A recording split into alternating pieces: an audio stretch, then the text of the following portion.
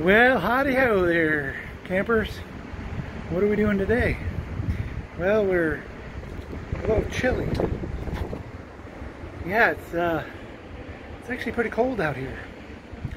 It was uh, pretty nice just a minute ago. And in the sunshine, it's beautiful. But when you're not in the sun, it's chilly. So anyway, we are doing some trim today. Woohoo! We haven't done any trim in a long time.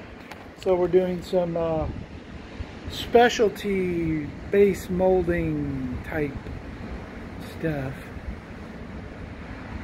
I say specialty because this particular type of molding would not generally be used in the way that we're using it.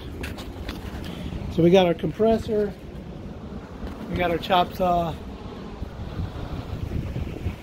We are in business.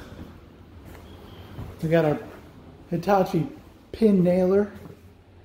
I love that thing. I love it. I love it. So we are, uh, yeah, we're attaching this uh, particular style of molding to to the base instead of typical quarter round, which was, I mean, if you look at it like this, you know, especially from up here, I mean, it's, it's you know, I mean, it's not bad.